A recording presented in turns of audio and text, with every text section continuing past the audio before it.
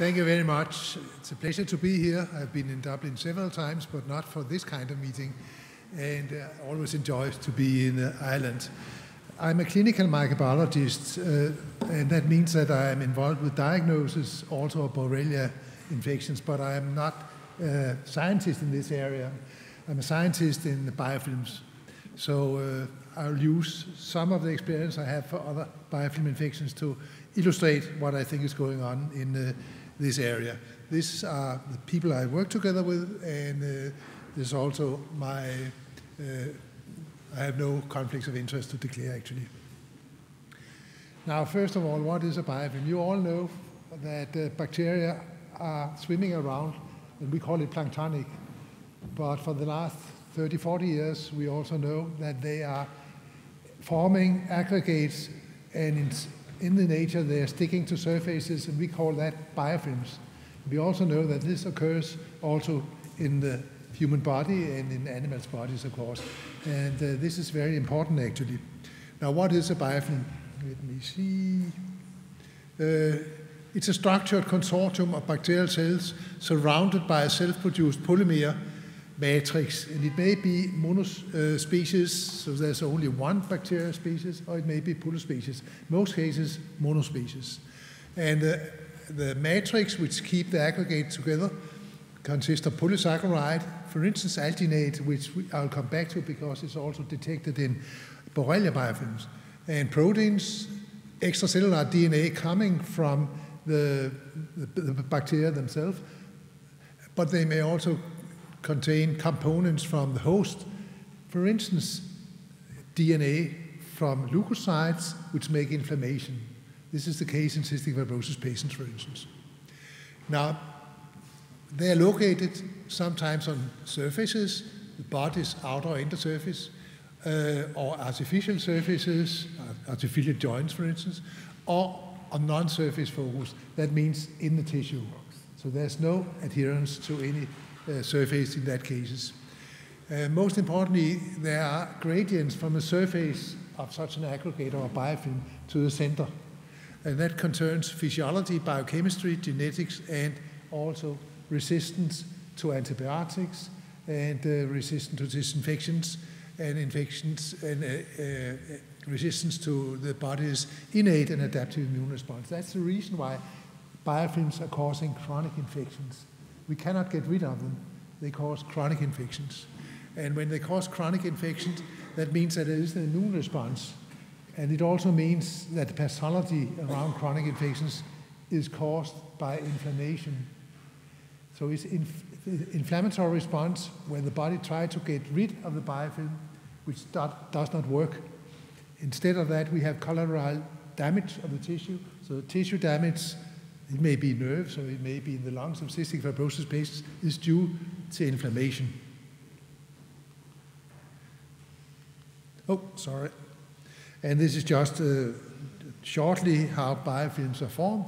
Here we have planktonic cells swimming around, and in this case, they form an aggregate on the surface of, uh, of say, plastic or whatever, uh, artificial joint, but it may also just form aggregates in the tissue. And they maturate, uh, they grow, become bigger, form their matrix, and you can see this is a major biofilm. And importantly, maybe not for, for Borrelia infections, I don't know, but for many other infections, they may be the focus for systemic spread. So you may have uh, uh, bloodstream infections coming from an intravenous catheter where there's a biofilm. So this is uh, what is going on. Most importantly, they are small and they are slow growing aggregates. So this is what characterizes biofilms. And this is just to show you where we this is, just, this is not com complete, or ex, ex, uh, but it shows you where we have identified device-related infections, adhering aggregates, and you can see here, and where we have just tissue infections, there's no uh, uh surface here, uh, and uh, this is probably where we will locate Borrelia, chronic Borrelia infection. Not just to show you that these uh, biofilms are small. This is a publication uh, we published uh, six years ago. And we have measured biofilms in many different uh, diseases and look at the size here, 5 to 100 microns. So most cases you cannot see them. It's difficult to find these biofilms. They may be rather scarce, so there are not many of them and uh, they're difficult to find because they are so small. The only exception is if it is an, uh, uh, on an implant uh, or catheter and so on, then they may grow along the catheter and then they become bigger. But otherwise, it's very difficult to find, also diagnostically, unfortunately. So they are small, not easy to find, but importantly, if you look for it, they are always surrounded by inflammation. So you go for inflammation and then you may find the biofilm in the center of the inflammation. Now let's go to Borrelia and see what is, has been published about biofilms here. And uh, this is uh, actually in vitro biofilm uh, published by Professor Sapi, as you can see here. And uh, here you have planktonic uh, Borrelia uh, bacteria, and here you have biofilm bacteria. And they have been stained by immunohistochemical staining. And if they form alginate, uh, if they form biofilm, the matrix consists, among other things, of alginate. Alginate is a polysaccharide which, where the body do not have any enzymes which can degrade alginate. So that's the reason why uh, they are very successful if they form alginate. But they don't do it if they are planktonic. And this is what we also know from other bacteria. This is my own area of research, the Pseudomonas aeruginosa. This is up-regulating and down-regulating of genes when they grow planktonically or as biofilms. As you can see, uh, many, many genes are upregulated or downregulated compared to planktonic bacteria if you grow them as biofilm. And this is obviously also the case with Borrelia, at least concerning alginate. Uh, this is just to show uh, again how uh, Borrelia biofilm may, may, look. It's again uh, Professor Sapi here, and uh, different, three different methods, uh, microscopic methods to detect the biofilms, and you see them here, young biofilms, and then they grow more mature, and here you have a very condensed aggregate of biofilms, similar here and here. So this is how they look in vitro. And if you look, use this uh, atomic force microscopy, you can study the surface of the biofilm, and you can see this is how they look. So if you imagine if it is in the tissue, as I will show you later on, you will have this irregularly uh, aggregates of bacteria. Uh, in uh, my own uh, uh, institute, we have a master student who have, who have found uh, biofilm of uh, Borrelia inside ticks. Uh, she collected ticks in last summer, and then she investigated whether there are biofilms inside, and here you have the aggregates. So in the ticks, which are trans trans transmitting the Borrelia, they have already biofilms. And uh, this is from Borrelia uh, patients, and this is again by Professor Sapi, and this is uh, in the Borrelia lymphocytomas. And here you see uh, uh, immunohistochemical image of such an aggregated biofilm of Borrelia. Here, here, here several. But they're small. This is 100 micrometers. So again, they are small. They're difficult to, difficult to find. And now here are several of them, but there may be only a few. So it's difficult to find them. And uh, here you have from the same publication. Uh, this is biofilm, and this is uh, uh, stained by antibodies against the Borrelia, you see it here, and here's antibody against alginate. I don't know if you can see it, but they are beautifully presenting uh, alginate as a major matrix product. So this is how they look in uh, vivo. And this is, again, by atomic force microscopy looking at the surface and looking how irregularly these aggregates are.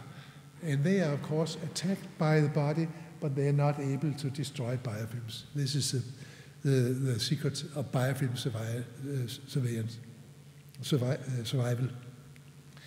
This is a biofilm formed in vitro, and uh, you look here at the confocal, confocal laser scanning microscopy, and you see top of the biofilm, and you see one the side of the biofilm is the same side, and they look like that. And then they have made a cartoon of the biofilm, as you can see here.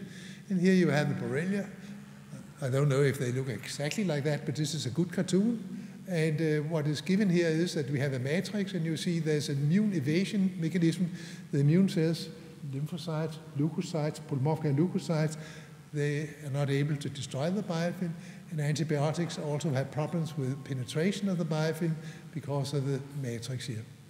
And uh, this is now we're going to my own area of research. This is Pseudomonas aeruginosa uh, for uh, some, some minutes here. And uh, this is based on published uh, papers we have shown how these biofilms survive uh, the attack of antibiotics and how they survive the attack of the neutrophils. So this is a biofilm of Pseudomonas aeruginosa. It's also alginate, which is a matrix here, as you can see. And Pseudomonas aeruginosa produce, when they are collected as an, as an aggregate, and there's plenty enough of them, then they make what we call quorum sensing, and then they produce actually uh, uh, quorum sensing signals, and uh, they, they activate uh, various genes, and some of the genes uh, means that they produce rhamnolipid. So this rhamnolipid actually lyse our cells, and in this case, they lyse polymorphin leukocytes. So they are defended against polymorphin leukocyte by simply lysing them. This is what's happening here, rhamnolipid. At the same time, uh, this uh, quorum sensing uh, molecules, they uh, activate genes which uh, means that DNA from Pseudomonas aeruginosa are also uh, produced so and uh, exported extracellularly. So there are a lot of extracellular uh, DNA in the biofilm here. What does that mean? That, that, that means that, for instance, tobramycin aminoglycosides, they are bound to, to DNA. That means that they become, uh, the biofilm becomes much less susceptible to tobramycin and various other antibiotics. Now, if we uh, inhibit biofilm, uh, oh, sorry, if we inhibit quorum sensing, so this quorum sensing inhibitors, uh, then they cannot produce uh, rhamnolipid and they cannot produce extracellular DNA. And then the, the leukocytes are successful in attacking the biofilms. And uh, the antibiotics are also working much better when there are actually no uh, extracellular DNA. And we use that actually uh, uh, in uh, the clinic, and we also use it in animal experiments, of course, because, for instance, the antibiotic azithromycin is inhibiting quorum sensing from Pseudomonas aeruginosa. I don't know if he does that for Borrelia, but he does for, for gram-negatives like Pseudomonas aeruginosa. And even some natural products like garlic, where we have identified the, the molecule which is inhibiting quorum sensing, it's ajoene, uh, have the same, uh, the same uh, uh, uh activity inhibiting quorum sensing. So there are possibilities. I don't know how that will work with Borrelia, but it works with Pseudomonas aeruginosa. So this is just, again, to show you, this is a, a biofilm, and this is Pseudomonas aeruginosa biofilm, and it's just gram stain. By just staining with gram stain, you can see the biofilm, and you can see this is the gram-negative bacteria, Pseudomonas, and here you have alginate, and here you have leukocytes showing this inflammatory response, which are frustrated because they cannot kill the biofilm. They release a lot of oxygen radical. They release a lot of uh, proteases, and that means that they destroy the, the tissue around. Here you have a post-mortem from a small cystic fibrosis patient who died with chronic pseudomonas infection, and here you have the biofilm, and here you have leukocytes. An enormous inflammatory response around the biofilm, which actually uh, destroys the lung. And this patient had produced a lot of specific antibodies against the biofilm, but it doesn't work. So it just gives rise to a much more pronounced inflammatory response. So antibodies are not uh, protective, they are harmful in this case, unfortunately. Uh, in, uh, in, in, my area, in cystic fibrosis patients with chronic pseudomonas infection, we can use antibody response to diagnose biofilm infection. And this is from a PhD student I, I have from uh, uh, Campinas, University of Campinas in Brazil, who published this paper, this paper here. In cystic fibrosis patients, the initial infection is in the paranasal sinuses. It's much easier to infect the paranasal sinuses. And the lung infection comes from aspiration from the paranasal sinuses to the lung. So we can detect uh, infection in the paranasal sinuses by looking at secretory IgA in saliva. So we developed that method. And you see these patients have no infection, no colonization in the lungs of Pseudomonas. There are fewer than they already have elevated secretory IgA, but no IgG. And here we have intermittent colonization, so this is aspiration, but they get rid of it again. And here you have increased secretory IgA, only one has increased IgG. But here you have a chronic lung, lung infection with Pseudomonas aeruginosa in the patients, and here you have both increased secretory IgA and IgG. So this is the way we are able to diagnose chronic biofilm infection in these patients. I don't know if that can be elaborated in, uh, in Lyme disease patients. I really don't know. It may also be that you have to look at uh, Th1 and Th2 response. Th1 response is a cell-mediated immune response. Th2 is antibodies. In these patients, Th1 response is helpful for the patients, not much inflammatory response, whereas Th2 response with all antibodies are harmful for the patients. I don't know if that would be the case in Borrelia, but this is what we're doing in my area. Now, let's look a little bit upon uh, susceptibility to antibiotics. And as you all know, this is the way most laboratory investigate susceptibility of the bacteria to antibiotics, as you can see here. And we can detect the MIC uh, uh, with this e-test. However, biofilms are resistant to antibiotics, and I can show you here what happens. This is an old publication, actually, and the first one which shows it. This is a planktonic Pseudomonas aeruginosa exposed to combination of tobramycin and piperacillin. Rapid killing, as you can see here, very rapid killing. But if you make an old biofilm, uh, and even if you make a biofilm which produces alginate, you see you cannot get rid of the bacteria. You can decrease the number of bacteria. And that means that, that you see if effect of antibiotic treatment but you don't cure the patient. You see improvement of inflammation, you see improvement of lung function if you do that, but there is recurrence because you don't get rid of it. Now, if you look at biofilms resistant to antibiotics, uh, it's important to realize that it's a gradual process. This is a publication some years ago. They actually published this year, sorry. and uh, here we have the minimal biofilm eradication concentration. And here, this is a, a, a microtiter plate where we grow the biofilm uh, so it becomes bigger and bigger. And this is after one hour of growth, two hours, four hours, eight hours, and 24 hours. So these are young biofilms. And this is, you see the increase of the resistance to antibiotics here. This is tobramycin, and it is an alginate producing Pseudomonas aeruginosa.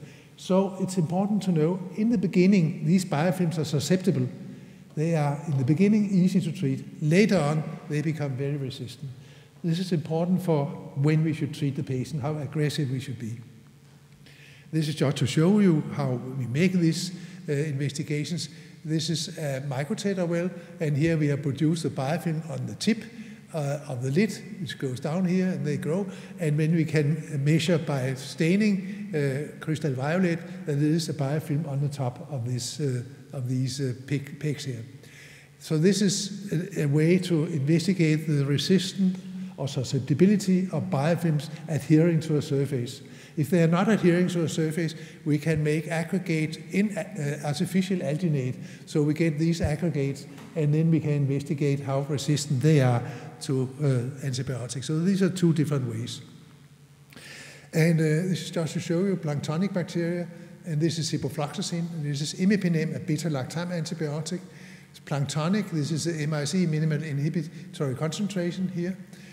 Here we have one day biofilm, non-mucoid, no alginate, and one day alginate producing, three day days biofilm, and here we have alginate beads. So these are adhering to a surface, this is not adhering to a surface.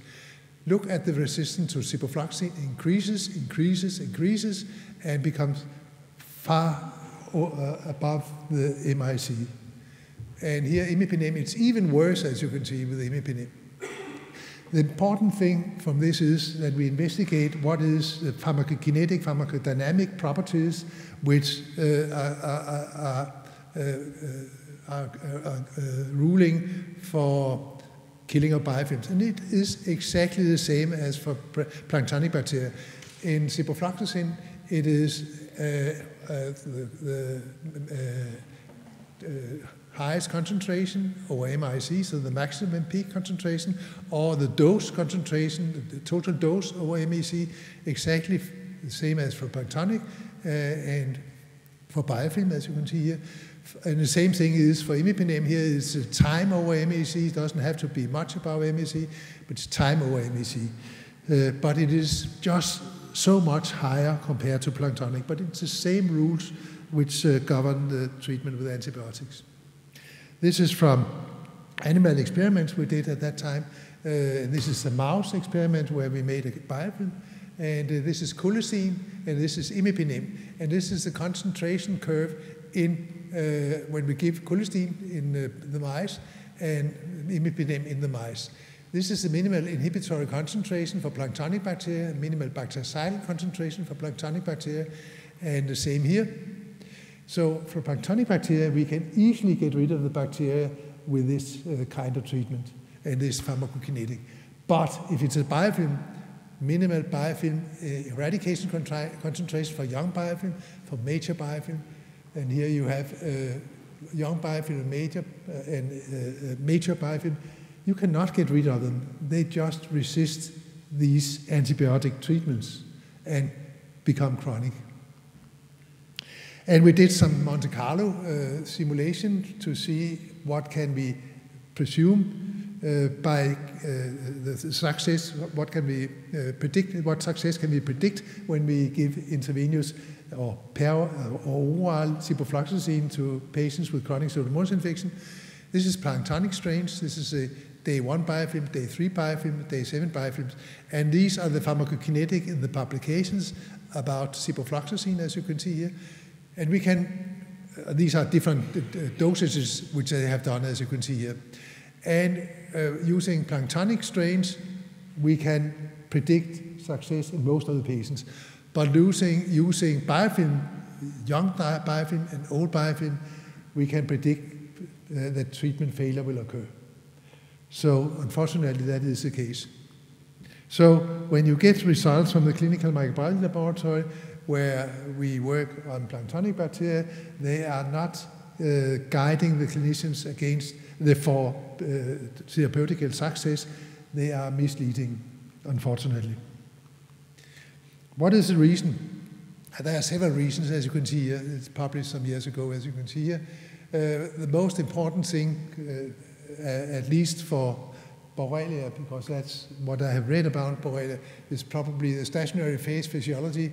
And I'll come back to that, showing that low oxygen and slow growth is part of the reason. And then persistence. But there are many other mutations, at least in, in, in other bacteria, hypermutators, beta-lactamase production, uh, tolerance, adaptive resistance, efflux pumps, and high cell density and quorum sensing, and I already showed you. But these persisters and stationary phase, stationary phase physiology are important. Uh, when you have a biofilm, you have inflammation around. This inflammatory response uh, is uh, caused by uh, leukocytes, polymorphic leukocytes. They consume oxygen. They produce, in order to kill the bacteria, they produce uh, oxygen radicals, so they, put, they consume oxygen. So there's anaerobic condition around the biofilm. We have shown that in cystic fibrosis patients in sputum. Uh, it's not us, but we have also showed it, uh, where they actually inside sputum, where we have biofilm and pseudomonas, there's anaerobic condition. Uh, whereas in aluminum, of course, uh, uh, there's uh, the same oxygen concentration as in, air, in the air. So the oxygen is consumed mainly by the polymorphic leukocytes, during the inflammatory response to biofilm. So there's anaerobic conditions. We have also looked at the growth rate.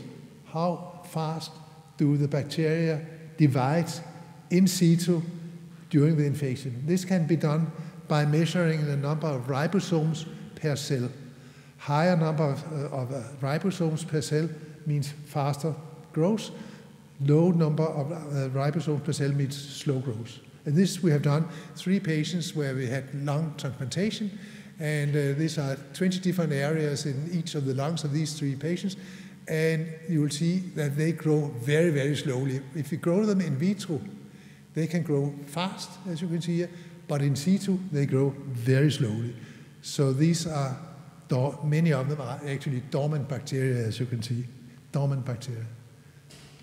And if you look, this is in vitro investigations, and uh, this is a biofilm, this is a surface at the bottom, the same seen here.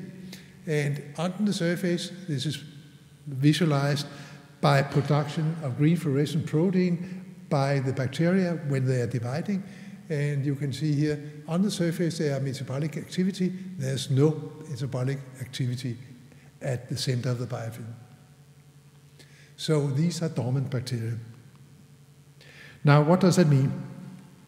First of all, uh, this is an old, old study, but very important study. You can see it's very, very old. Uh, but in this case, they use a beta-lactam antibiotic as cephalosporin, and they, uh, they exposed Escherichia coli, which were growing with a generation time at 1.5, 3.4, 5.9, and 12.6 hour. So very slow growing, more fast growing here. And uh, what you'll see here, if they grow very slow, the killing is very, very slow because uh, uh, the, the metabolic activity is very slow, as you can see here. If it is growing faster, it's much faster. Uh, the killing is much faster. If you, instead of time, use number of generations, then you normalize the whole thing. So you see the number of generations, they, the killing is exactly the same with uh, uh the different uh, uh, growth rate here. So if you have these very slow growing bacteria, you have to treat for much longer time. That is the basic message of this. Now, what have you learned from other biofilm infections? Uh, here you have here some examples, and you have put Borrelia infection here. Uh, and how do we prevent uh, biofilm infection in the other cases here? Hygiene, yeah, of course. Uh, what do you think about that in Borrelia? You can prevent tick bites. Don't go into the forest, or something like that. We can call that hygiene. Uh, prophylactic antibiotics. One possibility, I don't know much about how you do it, but one possibility would be to give antibiotic prophylactic here after any tick bite. That means number needed to treat is probably very high. But as we know, some of the cases are very, uh, uh, very devastating for the patients. This is a possibility. I don't suggest that you do it, but this is a possibility in theory at least. Uh, and then preemptive antibiotic therapy. That means, of course, what you already do now when you have a, a, a uh, and you know that this is a Borrelia infection, then you uh, give early eradication therapy but maybe it's not, uh, obviously, it's not efficient enough because there are some patients who recur, simply the infection recur. So obviously, it's not that efficient. Maybe we should try to make that even more efficient. And then uh, the treatment we use in other cases, removal foreign body, of course, we remove the tick if we see it. But otherwise, in the move the foreign body, there can be uh, uh, uh, tube, or it can be intravenous catheter, or urinary tract catheter. If that's a biofilm, we remove it if it's possible. And then long-term antibiotic treatment, as I just indicated, you have to treat long time if it's a biofilm infection. And if it's not enough, and this is not the case, for instance, in cystic fibrosis patients and several other chronic biofilm infections, then we have to use chronic suppressive therapy systemically for the rest of the patient's life. I don't advocate that for Borrelia patients, but I'm just saying that this is very efficient in cystic fibrosis patients with chronic pseudomonas infection. We can keep them alive for decades. So this is what we This is not ideal, but this is the best we can do at the present time. So just to illustrate what we're doing, intermittent pseudomonas colonization, early aggressive eradication, we use combination therapy, oral ciprofloxacin, and nebulized colistin in order to have high enough concentrations.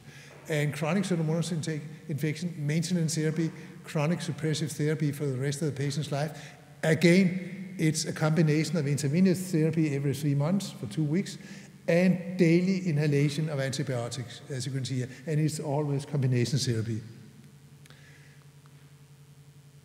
Now, now comes an interesting thing. You remember I said that around biofilms there are anaerobic conditions. So we know now, uh, and I've known that for more than 10 years now, that when antibiotic works, most of the antibiotics uh, are actually helped by oxygen radicals. If you treat with antibiotics, uh, of course, we know how beta-lactams works and how aminoglycosides works, how quinolones works, and so on. But at the same time, when you treat with these antibiotics, you interfere with the metabolic activity of the bacteria, and then they produce oxygen radicals which are not neutralized in the bacterial cells. And these oxygen radicals, if there are enough of them, they contribute to the, the, the killing of the bacterial cells. If there are not enough, what they do is that they introduce mutations, and mutations means that they sometimes become resistant to the antibiotics. We have shown that in this publication, and several other people have done the same thing. So oxygen radicals are important for contributing to the killing of the bacteria and also for the uh, occurrence of antibiotic resistance, unfortunately. So what can we do? Yeah, we can actually maybe uh, make a dormant cell wake up by adding oxygen. This is a possibility by adding oxygen. We are working on that uh, in uh, vitro and in animal experiments, and we have also a, a project for endocarditis patients with Staph aureus endocarditis, which we hope will start this year. So this is an, a, chamber where we can have uh, any kind of in vitro experiments, including animal experiments, where we have hyperbar oxygen. And this is uh, Mette Kolpen who is working on this. So hyperbar oxygen is 1.8 bar above atmospheric pressure. So total 2.8 bar for 90 minutes is used clinically for treating other, uh, other conditions at our hospitals. Uh, and uh, this is similar to if you are a diver, 80 meters below the surface. This is what is done. So we try to wake up the dormant cells by add, adding oxygen. In order to do that, you have to do modeling because you have to be sure that when you give the antibiotics and you give the hyperbar oxygen, that both are present at the same time in the focus of infection. We did a lot of this kind of modeling together with a physicist from the Danish Technical University, Thomas Sams here. And this is with atmospheric air, and this is with hyperbar oxygen therapy. And this is different concentrations of ciprofloxacin, and uh, same here. And you see there's virtually no killing of the biofilm when you have only normal oxygen. But if you have hyperbar oxygen therapy, you see that you can kill the biofilm but that way. You can wake it up. And uh, this is proof of concept in our animal model of Staph aureus endocarditis, uh, uh, published uh, two years ago. This is in vitro. We have here Staph aureus biofilm, this is a number of bacteria, uh, and uh, this is a concentration of tobramycin. This is with hyperbar oxygen, and this is anoxygen. There's no oxygen here, no, no uh, hyperbar oxygen here. And you can see the killing is much better when you have hyperbar oxygen. I mean, this is a log scale, so it's 100-fold higher killing. And this is the vegetation size, much smaller when you use hyperbar oxygen compared to non-hyperbar oxygen and this is a number of bacteria per gram valve.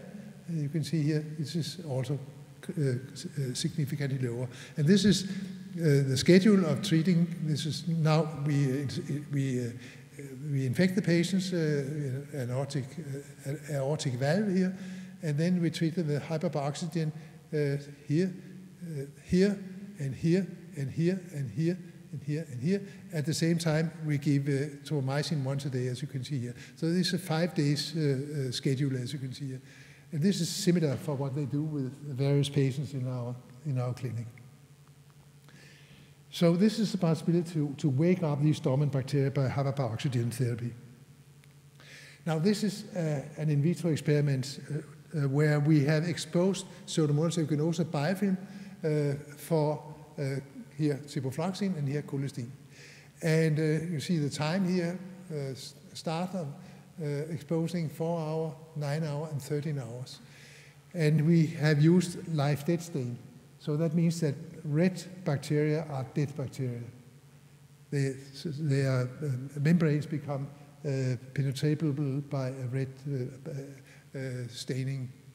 And as you can see here, ciprofloxacin kills the surface of the biofilm, not the center. This is a top view, this is a side view, and this is another side view, as you can see here. So ciprofloxacin kills the surface, but not the center. Remember, the center is anaerobic, and there's dormant bacteria. You look at the colistin, it's exactly the opposite way. They kill the center and not the surface. The reason why they kill the center is that they just destroy the membranes. Does not depend on meta metabolism.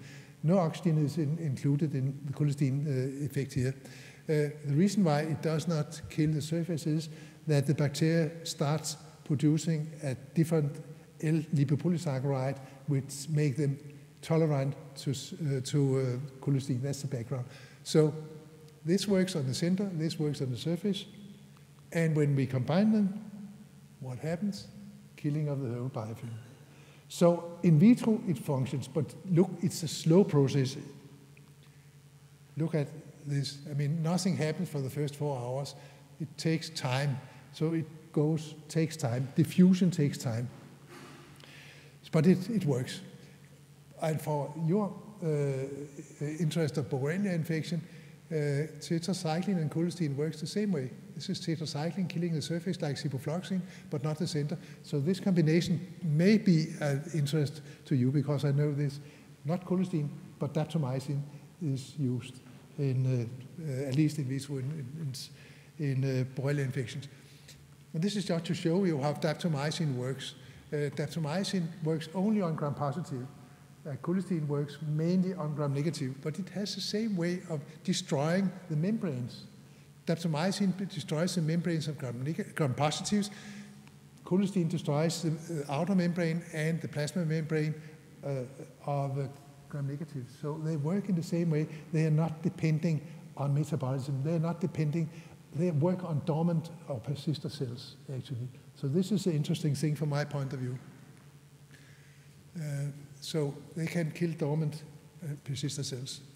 And as you may know, of course, uh, I know Fink was uh, presented some uh, uh, results yesterday, but I was not here, so I don't know exactly what he said.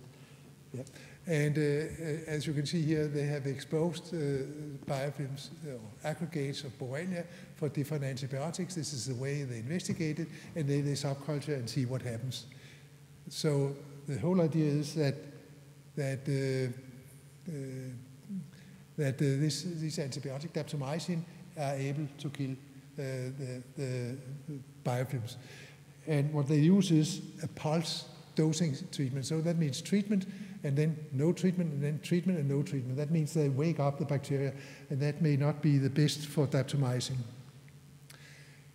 So uh, to, to uh, sum up, biofilm detection is difficult because they are so small. Solution, I think, when it has been shown that these are biofilms, then assume that these are biofilms. Uh, and then can immune response be used to help diagnose biofilms Borrelia? I don't know. TH1, TH2. Uh, treatment prevent recurrence. Solution may be prophylaxis after tick bite. I know this is very radical. it is a possibility.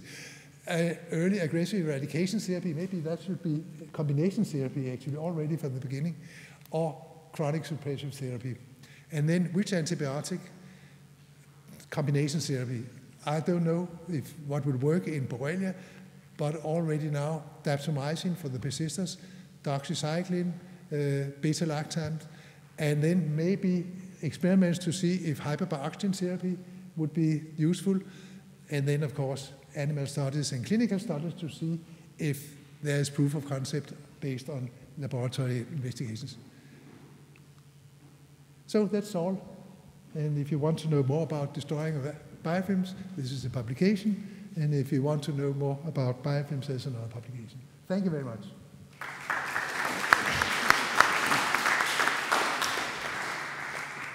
Thank you for this biofilm, well, speed workshop. Question. Mm, It's a silly question, don't kill me. Uh, I always thought that if you have a biofilm in the joints or something like that, if you exercise, you are able to break um, mechanically some of the uh, biofilm and release some of the bacteria in this case and be able to detect. Could I be wrong? You ask if we can destroy the biofilm. No, destroy no, but uh, disturbing uh, enough in order to release some of the bacteria to be either treated or detected. Uh, that was after seeing a, a horse race. Don't ask, but it's, uh, it is possible to mechanically disrupt the uh, biofilm, basically. Yeah, yeah, if it's possible to disrupt the biofilms. Is that the question? Is it possible to disrupt the biofilms? yeah. Yeah, yes, it is in vitro and also in animal experiments. Alginate, and fortunately, alginate is also present in Borrelia, it seems, can be destroyed by uh, a, a, compound, a compound which is called oligo-G, which is produced by a Norwegian uh, pharmaceutical company, a small one.